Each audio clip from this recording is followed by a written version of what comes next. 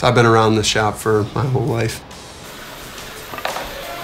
It's like a giant playground that I could do whatever I wanted in, basically. I mean, I could make anything, you know? I just had to figure out how to do it. Or find somebody that would teach me.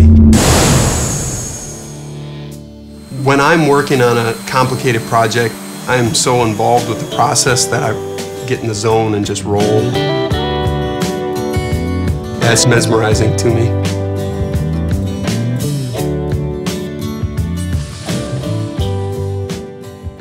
We build the world's finest wooden boats.